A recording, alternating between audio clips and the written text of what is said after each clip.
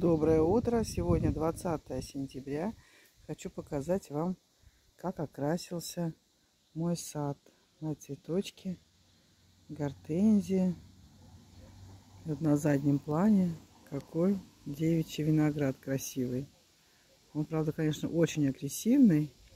Но вот его сдерживаю. И он там соседский сарай не очень красивый. Вот он его загораживает. И на фоне сосен зеленых. Такой красивый красный, красная стена. Это мои гортензии.